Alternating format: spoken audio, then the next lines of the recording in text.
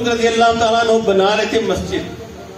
अमीर उलमोमिन है, बादशाह है। साथ वाले मुल्क थे, उन्होंने तीन तोहफे दे दिए। आके तो आप हाथ भरे हुए गाड़े से। अल्लाह का घर बना रहे हैं। आते ही उन्होंने कहा, हजूर शाहरान ने आपके लिए तोहफे भेजे हैं। थोड़ी सी नज़र उठाई ना, देखा अच्छा हमें तोहफे भेजे हैं। बताओ क्या तोहफा भेजा? कहलू ये सबसे हसीन तरीन औरत आपके लिए तोहफा भेजी है। का अच्छा हसीन तरीन है? अल्लाह थोक देने नहीं तकते हाँ, जिन्हें हजूर का हुसन तक लिया उन्होंने होर भी हुसन नज़र आता भी कहा अच्छा करीब अपना नौकर था, गुलाम। सर नीचे करके बैठो बड़े पुराने कपड़े। का चल तेरा इसे निकाह कर देता हूँ।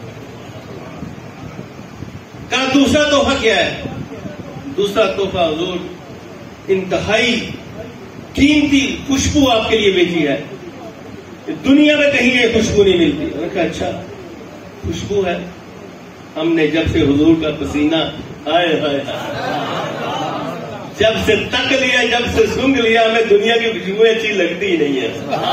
एक सहाबी जहाँ भी जाते, गुजरते जाते, खुशबू ही खुशबू आती थी। तो किसी ने पूछा, ये कौन सी खुशबू लगाते हैं?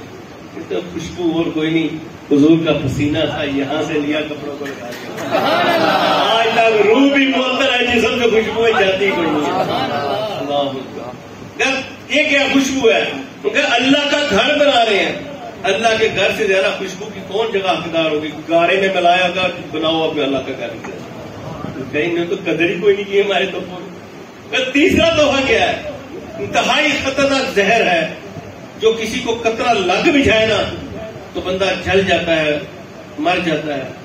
क्योंकि तो हमारा यकीन तो अपने रब पे है। इन जहरों से क्या होता है? इन बिस्मिल्लास्मी फ़िलहाल भी बला फिर समाज बहुवत जहर पकड़ा। क्या ये इससे क्या होता है? हजूर के गुलामों का कफन मैला नहीं होता, ज़मीन मैली नहीं होती, जमन मैला नहीं होता, मोहम्मद के दीवानों का कफन मैला नहीं होता। अगर मार के भी कुछ नहीं होना तो ज़िंदा को क्या हो जाना है? जहर पकड़ा, मुँह को लगाया, सारे पी गए। वो जो आने वाले थे, हैरान हो गए। तो क्योंकि ये बस इनकी नज़रों ने, जिसने हजूर को देख लिया, उनको कोई और चीज़ अच्छी लगती कोई नहीं वापस चले गए। हजरात मोहतरम, ये ये शान है उनके गुलामों की। सरकार का आलम क्या होगा? ये ईमान की रत्ती थी। ये ईमान की दौलत थी जो सहाबा को खरीद ना सकी। ये ईमान की दौलत थी ना जो मौला हुसैन को तब तेरे रेत पे खरीद ना सकी। इतना ही था ना, मान जाओ तो नहीं मानना। मान जाओ, पानी मिलेगा अगर नहीं चाहिए पानी। नहीं मानना, जब मान जाओ, तख्त भी मिलेगा तो नहीं मानना। थूकते नहीं थकते सिकंदरी पर। हमने हजूर के कदमों में अपना अपना बिछोना बना लिया हुआ है। हम उनकी आल हैं। हमारे ईमान का कुछ होता कोई नहीं कर सकता। ये ईमान आता कैसे है? हमने तो देख लिया ना, साहबा ग्राम कह दिया था अब हमने देखना है कि ईमान आता कहाँ से है। क्या ये इलम से आता है? ज़्यादा पढ़ने से आता है? क्या अमल से बड़े चिल्ले वजीफों से आता है? तो दोनों ही चीज़ें हैं। क्या इलम से आता है? नहीं। इलम से नहीं आता। अगर इलम से आता ना तो आज बड़े बड़े पढ़े लिखे अल बेरोनी अरस्तु बड़े बड़े पढ़े लिखे साहब ईमान होते। लेकिन हमने देखा, ये तो अनपढ़ बिलाल हफ्सी का इन से ज़्यादा ईमान आपने किया, आपने फरमाया वो बकर, जाओ, बिलाल से कहो, हमारे, हमें तुम्हारे ईमान पे यकीन है यकीन है। कलमा आस्था पढ़ लिया करो। हमें तुम्हारे ईमान पे यकीन है, हम गवाही देते हैं। क्या हजूर, पहला तो पढ़ाना ही नहीं सीखा जे पढ़ा लिया तो फ़िलहाल कट सकता कलमा होली पढ़ ही नहीं सकता। कलमा हज़रत मोहतरम, ये ईमान आता कैसे है? किताबों से आता है। इन बहुत बड़ा था शैतान के पास। फरिश्तों का सरकार जब बात हुई ना उसके सामने तो उसने क्या कहा? आदम सलाम को, सजदा करो। रब कायनात की तरफ़ से हुक्म हुआ, आदम को सजदा करो। इल्ला इबलीस अड़ गया। वो तो किस बात पे? तो मैं तो आग का बना हुआ हूँ, ये मट्टी का बना हुआ है। आग ऊपर को जाती है, मट्टी नीचे को आती है। मैं इसको सजदा नहीं करूँगा मोलक तुझे करूँगा, बस तेरी मानूँगा। यहाँ आके दो तरह का इनम होगा दो तरह के फिरके बन गए। एक वो तो ही जो आज लोग लेके बैठे हैं, नहीं बनना बस अल्लाह के सिवा। अल्लाह के सिवा किसी को नहीं मानना। एक वो, चेतानी तो ही हो गई। एक फरिश्तों की तोहीद होगी। अल्लाह को भी मानना अल्लाह की भी मानना है। अल्लाह जिसको मनवाए उसको भी मानना है। ये दादा दादा किसने मनवाई है? अल्लाह ने मनवाई है ना? ये ये बाबा फरीद किसने मनवाई है? अल्लाह ने मनवाई है। अल्लाह का वादा है। फज गुरूनी अजगुर को तुम मिनू मनो दुनिया तो मनेगी।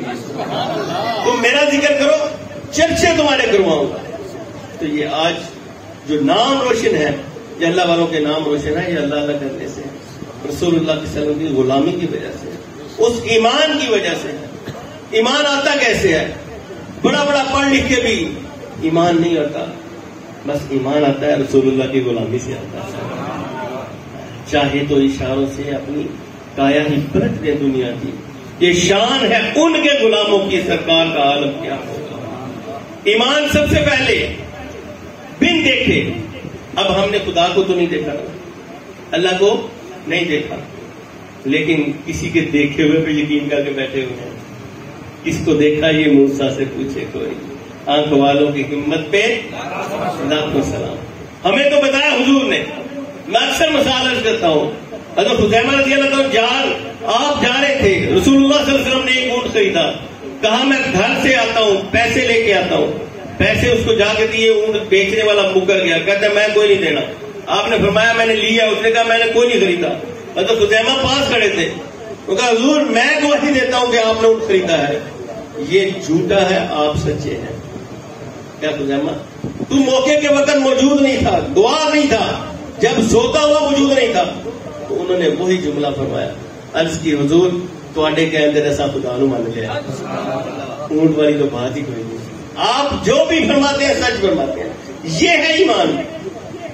हर कोई फिदा है बिन देखे। दीदार का आलम क्या होगा? आप सल्लल्लाहु अलैहि वसल्लम ने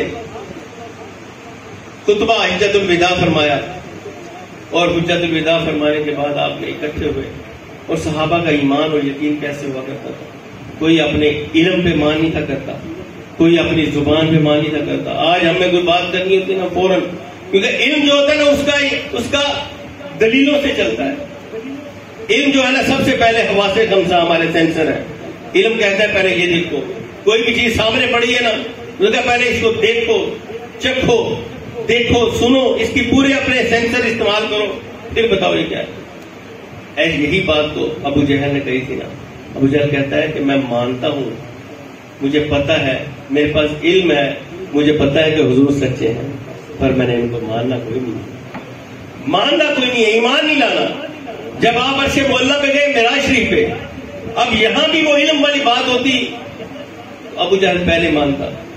आपने फरमाया, मैं अच्छे मोहल्ला से होके आया हूँ। जन्नत भी देखी, दोजख भी देखी, फरिश्तों को। मैंने अंबिया को नमाज़ भी पढ़ाई है। वो ज़मीन पे आ गया आया था तो बिस्तर भी गर्म था कुंडी भी हिल रही थी। अब इल्म वाले जहाँ ढेर हो जाते हैं। अब आ जाती है इश्क वालों की बारी। अब माशकों के सरदार हज़रत अबू बकर सिद्दीक की बारी आ जाती है। अबू जहल को बहाना चाहिए था, कोई ऐसी बात हो जो अकल में ना आए, जो तस्लीम ना करे। अब आते ही उसने कहा, यार, क्या ऐसे हो सकता है? कोई ऐसे कर सकता है कि अर्श में भी जाए, जन्नत भी देखे दोजख भी देखे, नबियों को इमामत भी करवाए और फिर वापस आए? तो कुंडी हिल रही हो, बिस्तर गर्म हो। जब उसने ये बात सुनी ना, उसने कहा, कोई हो नहीं हो सकता। मेरे हुजूर हो तो हो सकता है। मेरे आका हो तो बिल्कुल हो सकता है। कोई और हो तो झूठ हो सकता है। मेरे आका फरमाए तो हमेशा सच ही हो सकता है। इसके अलावा कोई गल ही नहीं हो सकती। ये है ईमान। हर कोई फिदा है बिन देखे। दीदार का आलम क्या होगा? और हम आशिकों को भी हुजूर ने अपनी मोहब्बतों से पूरा नवाजा है। हम भी जो बैठे हैं ना, ये ऐसे ही बैठे खुदा की कसम उनकी नज़र है। इतनी गर्मी में कौन छोड़ता है अपने घरों को? कौन कार कारोबार छोड़ता है? ये बस महबूब की महफिल को महबूब जाते हैं। आते हैं वही जिनको सरकार बुलाते हैं।